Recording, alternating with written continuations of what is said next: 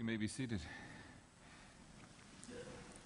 Here now, a beautiful post resurrection story in the Gospel of Luke. Now, on the same day, two of them were going to a village called Emmaus, about seven miles from Jerusalem, and talking with each other about all these things that had happened. While they were talking and discussing, Jesus himself came near and went with them, but their eyes were kept from recognizing him. And he said to them, What are you discussing with each other while you are walking along? And they stood still, looking sad. Then one of them, whose name was Cleopas, answered him, Are you the only stranger in Jerusalem who does not know the things that have taken place in these days? He asked them, What things? They replied, The things about Jesus of Nazareth, who was a prophet, mighty in deed and word before God and all the people and how our chief priests and leaders handed him over to be condemned to death and, to be cru- and crucified him. But we had hoped that he was the one to redeem Israel. Yes, and besides all of this, it is now the third day since these things took place. Moreover, some women of our group astounded us. They were at the tomb early this morning, and they did not find his body there. And they came back and told us that they had indeed seen a vision of angels who said that he was alive. Some of those who were with us went to the tomb and found it just as the women had said, but they did not see him. Then he said to them, Oh, how foolish you are, and slow of heart to believe all the prophets have declared. Was it not necessary that the Messiah should suffer these things and then enter into his glory? Then, beginning with Moses and all the prophets, he interpreted to them all the things about himself and all the scriptures. As they came near the village to which they were going, he called ahead as if he were going on. He walked ahead as if he were going on. But they urged him strongly, saying, Stay with us, because it is almost evening, and the day is now nearly over. So he went to stay with them. When he was at the table with them, he took the bread, blessed and broke it, and gave it to them. Then their eyes were opened and they recognized him, and he vanished from their sight. They said to each other, Were not our hearts burning within us while he was walking, while he was walking, talking to us on the road, while he was opening the scriptures to us? That same hour they got up and returned to Jerusalem, and they found the eleven and their companions gathered together. They were saying, The Lord has risen indeed, and he appeared to Simon. Then they told what happened on the road and how he had been made known to them in the breaking of the bread. What, what I see here is a wonderful story about Jesus taking on three different personas as he was walking with his disciples on the road to Emmaus. First of all, he was a stranger. They didn't recognize him. And then, as they walked and talked together, and as Jesus taught them, then he became their guest as they invited him to stay and to join with them for dinner that night. And then he became their host as he took the bread and he broke it. So let's look at this a little more closely. Jesus was a stranger. It's not unusual that Luke would describe it this way. The Luke, who was the writer of the Gospel of Luke and also the book of Acts of the apostles, he was a Gentile. And so the audience that he was writing to would have been Gentiles, people who, for the most part, would not have been familiar or maybe had no knowledge at all of what the Jewish teachings and the prophets and, the te- and, and customs were all about. So, for those people, that audience, to talk about Jesus, who was from Nazareth, who was a part of this prophetic tradition and who is the Messiah would have been strange to them. Because one of the things that happens with most people who write books or who write stories, there is an audience they're trying to reach with a specific message. So here, Luke masterfully is weaving the story together about these disciples. This is not one of the twelve, but one of the larger group of disciples of Jesus as they were heading home on Easter Sunday still very sad about the events and mystified by the events of that weekend. So, yes, as they were on their way, Jesus comes to them as a stranger. They did not recognize him at all. And then, as they shared with him what was on their mind and what was in their heart, Jesus called them foolish, which I'm surprised he became a guest afterwards. Usually that doesn't work. You, you dummy, you idiot. Why do you? Yeah, come on, be our guest. But Jesus says, Oh, you're so foolish. Did not the Messiah have to be crucified and suffer what he did in order to bring God's glory to the earth? Did he not have to go through these things? And he went on through Moses and the prophets and interpreted all for them as they were walking their seven miles. As they were reaching the village, then they saw that he was going to walk on by. And they said, No, no, no, no. You're no longer a stranger, but now you are our guest. As I was looking at this part of the story, I had to remember in my own life when someone who I first saw, I didn't know who he was, he was a stranger to me. He, a guy named Keith Wilson, he's been here before. He, we and he and I have sung together, especially in the old church. Um, Keith came to my church with a group one time, performed, talked to them afterwards. They had guitars, thought that was pretty cool, so we like talked about guitars, man, and all that fun stuff. And then I didn't see him again afterwards, and then I went to my orientation at UCF. And in the same orientation group, there was Keith, and we both looked at each other and say, I've, I've met you. And from that moment on, he and I became best friends. We were strangers. But it's one of those things that once you just get to talking, you feel like you've known this person your whole life. Have you, have you experienced that?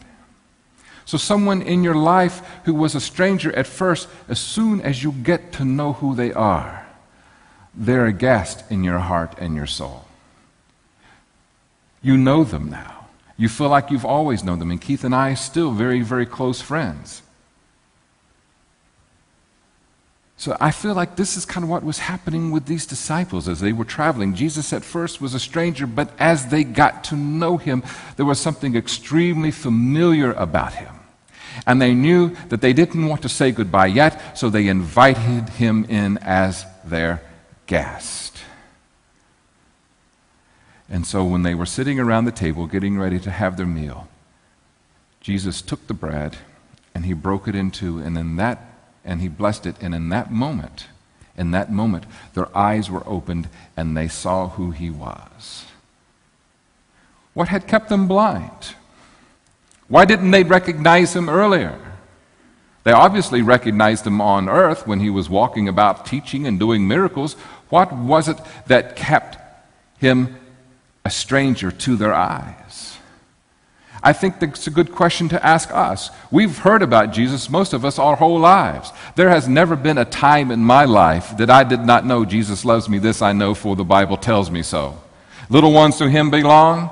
They are weak, but he is strong. Yes, Jesus loves me. Yes, Jesus loves me. Yes, Jesus loves me. The Bible tells me so. I have never not known that. But I've, never, but I've not always known Jesus. There were times in my life when he seemed like such a stranger and somebody so far away. What is it in us that even though we might have knowledge of Jesus, we still do not recognize him? Some of it's fear, some of it's busyness and distraction, some of it's bad theology. Some of it is preachers and teachers and book writers trying to make Jesus something that Jesus never was, but they need to make Jesus into this mold to fit their own agenda. It can be a, a lot of different things. The reality is, for many of us, even though we know Jesus, we sing about Jesus, we read about Jesus, Jesus is somehow still a stranger to us. But when we invite him into our home, something changes. I shared with you last week about how I've studied Jungian psychology, and one of the things that Jung, Carl Jung did was about uh, teaching uh, and writing about dream interpretation and how in dream work, a building, a house, is an archetype for your soul. So notice that they invited Jesus into their house. They invited Jesus into their what? Soul. And as they sat and had communion or dinner with Jesus, that's when they recognized him. Not when Jesus was just up here. They heard all the intellectual stuff, the teachings and so forth as they traveled down the road. That was all the stuff they knew in their head. It's when they opened their heart, their soul to Jesus, and he came in that something changed. Something miraculous changed. I grew up hearing that if you let Jesus into your heart, and there was a very specific way to do that, that everything in your life would poof, be all magically perfect. Every little thing that ever been bad in your life would just go away. And wait, there's more if you act now. but notice that Jesus had to be invited to come in. Maybe that's why Jesus is still a stranger to so many of us.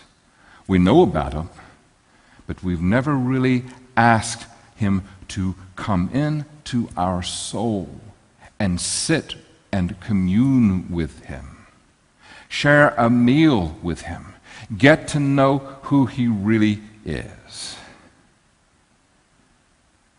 When we do that, when it stops being an intellectual exercise and becomes something experiential. In other words, you get to know him and what's the Greek word?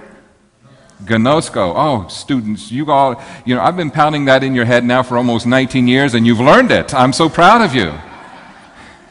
It's gnosko is the Greek word for knowing, but it's an experiential knowing. When you get to know Him experientially, then it starts to transform something inside of you. As I was thinking about this, another experience of my life came to mind. When I lived in North Carolina many, many years ago, uh, I was a part of a program at North Carolina uh, State University called Friends of the College, and they had many different kinds of artists and performing groups come to Reynolds Stadium to perform. And Reynolds Stadium is a basketball stadium. And one of the performers was Leontyne Price. Now, I had listened to some classical music and I had heard some opera music, but I was not that familiar with it. And so I was sitting in Reynolds Auditorium. I can still picture myself. I was up on the upper level. I was looking down, and the stage was right here. And the speakers for the whole auditorium were right in the center of the, of the stadium, just like they are like at Amway Arena, right there in the middle. And all there was was a microphone in front of her and an orchestra behind her. And as she started singing, her voice was so big. Her voice was so big that the speakers were cracking. The static was coming out of the speakers. Her voice was too big for the speakers and the top of the stadium. So the sound people eventually just turned the speakers off. And then something miraculous happened. Her voice, this one individual, as she started to sing, just filled the whole auditorium. And even though I wasn't that familiar to her, she was a stranger to me. As soon as she started singing, something in her voice and interaction took hold of my soul, and I connected with her on a very deep and beautiful level. It reminds me of that scene in Shawshank Redemption. Remember when Andy was in the warden's office? And he locked the door and he put the album on and he was playing a, an aria with two sopranos. And the guys in the, in, the, in the prison yard said, We had no idea what those two ladies were singing or what it was about. It was in Italian, but something came over us. That's exactly how I felt. Something came over me.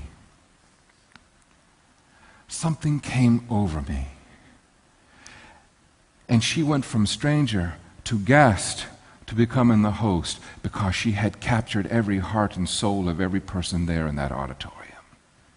Just by opening her soul and letting the music come out of her mouth, something transformative started to happen. And that's what I see in this story. That these disciples, Jesus was a, a, stranger to them. Then they invited him in as their guest. And then, as Jesus started to teach and Jesus started to break bread with them, then they recognized something in him.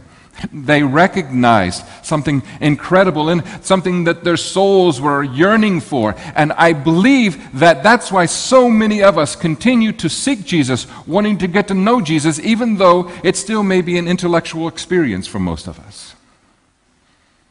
It's because when we take away all of the politics, that creates noise in our ears, when we take away all of the cultural confusion that creates noise in our brain, when we take away all of the bad theology or the, the, the doctrines and the polity and who is right and who is wrong and who the real Jesus is, when we take all that stuff away and we just look at the stories and we see the things that he did for people, how he embraced everybody, how he met people where they were, how he healed, how he reached out to the most disenfranchised, how Jesus was the most beautiful, giving, healing, powerful human being that's ever walked this planet. When we just listen to the music, of His presence upon this planet and it just covers us, then something starts to transform in our heart and soul.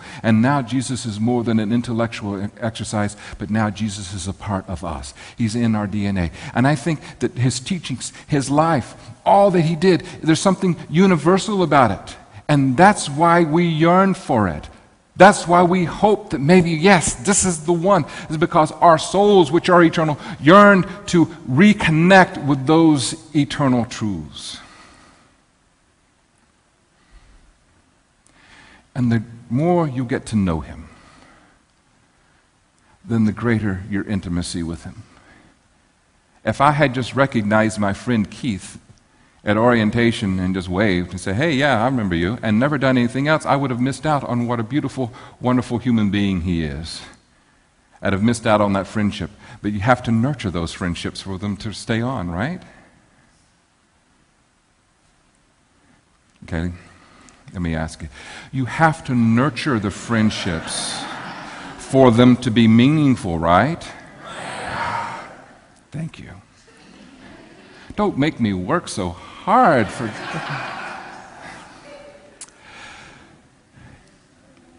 you cannot expect to have a deep personal knowing of Jesus and God if you don't take time to nurture it. You have to create the time. You have to create the time. For those of you who are married or who have been married or who have been married several times, by the time your spouse starts saying, you know, I wish you would start paying attention to me more, it's kind of already too late.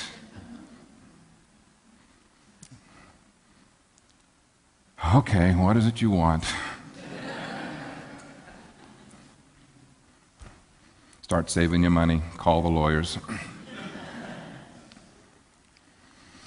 if the relationships that you have in life are deep and meaningful, it's because you've spent time nurturing them. And the person that you love is not just an idea that you have in your brain, but something that you experience in your heart, in your soul, in your body. It's the same with your spiritual relationship. It's always there. God is always there. God is always in the house. How much time do we spend nurturing that relationship? God knows us completely. So it's not a matter of God getting to know us, it's a matter of us getting to know God. Then something else happens. After Jesus breaks the bread and they recognize him, after they've walked seven miles, it's getting dark, what do those disciples do? Do they hang out overnight? What do they do? Immediately, they get up and they go back to Jerusalem to tell the story.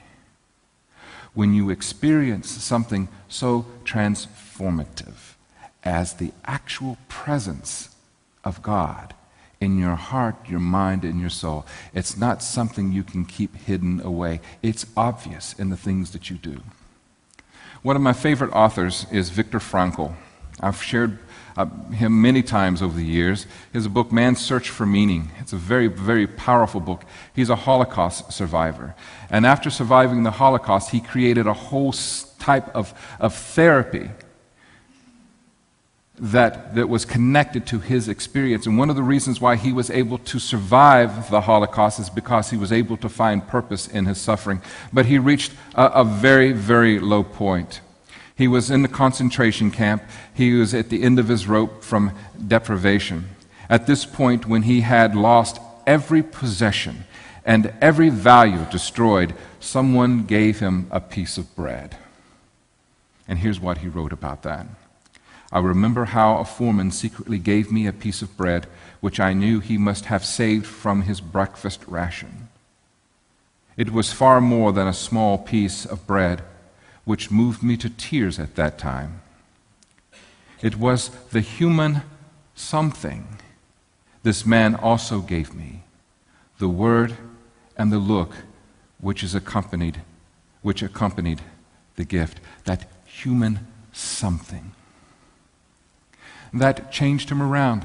Something as simple as a piece of bread turned him around. For the disciples on the road to Emmaus, a piece of bread turned them around. But what was it? Was it the bread itself? No, it was that human something. It was that God presence in the face of that person. It was the reaching out and touching. It was the I am going to give you what I have because you are hungrier than I am. That human something. And so, what I urge you to do, that if you still do not know this Jesus on an intimate level, open up your house and let him come in and live with him, eat with him, get to know who he is. It will transform your life. Not instantly. I wish it were that easy.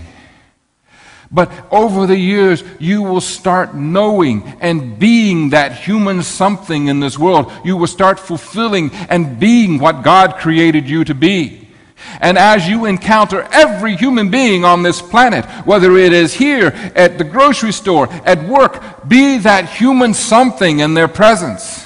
Any kind of act of kindness to a person at any point in time can be that thing to turn them around and give them hope when they feel that they have lost everything.